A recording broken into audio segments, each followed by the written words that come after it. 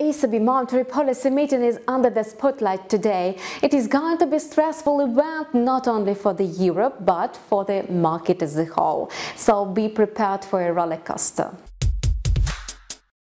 The most traded currency pair has settled below 1.12 today. It continues moving downwards, repeating yesterday's tendency. Ahead of the main event of this week, the ECB monetary policy meeting, the single currency was hovering near the lows at 1.1127. Some experts believe that the European economy needs a stimulus.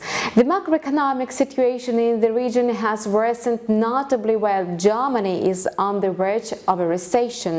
In addition to yesterday's downbeat statistics, another disappointing report was released today. The German business confidence fell lower than expected, having plunged to a six-year low in July. It seems that the manufacturing crisis has a bad effect on the business activity in the biggest European economy. The ifo Business Climate Index slumped to 95.7 from 97.5 in June.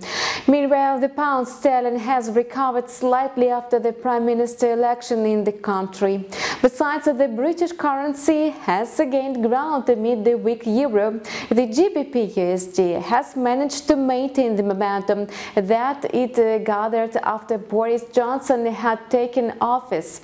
However, traders are still cautious regarding the potential hard Brexit that has been actively promoted by the newly elected Prime Minister. The pound-dollar pair trading a bit higher at 1.2479, but this level was lower than yesterday's closing quotes.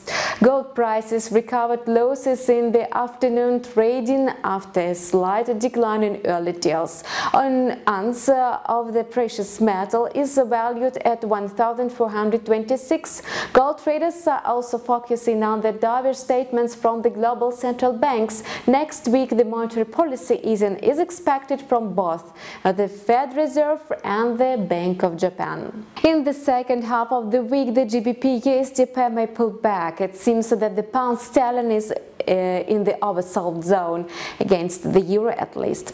You are watching market news on InstaForex TV channel with me Kate Tikhina. We wish you profitable deals.